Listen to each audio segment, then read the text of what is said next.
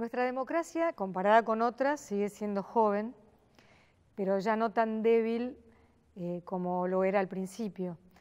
1983, eh, gran euforia, gran fervor, gran alivio en un punto, pero no, no era como en las películas de amor que con el beso ya estaba, no, ahí empezaban algunos problemas. Eh, para ese entonces sería el ministro de Defensa más joven, no sé si de la historia, pero joven, ¿no?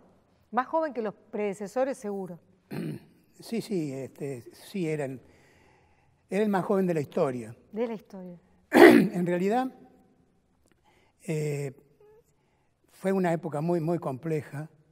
La, la relación entre civiles y militares era muy difícil, salíamos de una época muy dura. Y yo llegué al Ministerio de Defensa, el primer ministro de Defensa fue Raúl Borrás, que era un amigo mío, que impensadamente muere al año de, asumir. Yo tenía 42 años. Y, no había mucha gente desde el, que desde el radicalismo, desde la política, se había ocupado de los temas de defensa.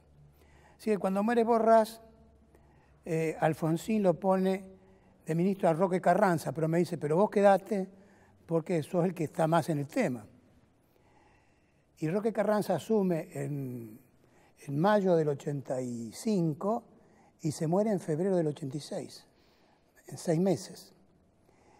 Y, entonces este Alfonsín me dice, mira, dice, vos no podés mandar a generales con 43 años y tienen 60, sobre todo con toda la situación que estábamos viviendo. Y lo designa Germán López. Borrase a la cabeza política de Alfonsín, Carranza a la cabeza económica y Germán López a la cabeza ética. Y yo estaba ahí. Y Roque Carranza, y, se muere, se enferma y renuncia en julio y muere en agosto. Y yo soy, entonces soy ministro de Defensa con 43 años y, y luego de tres muertes en menos de un año y medio.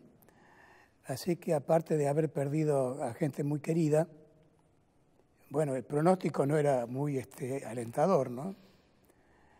Y bueno, y, así fue como fui ministro a los 43 años.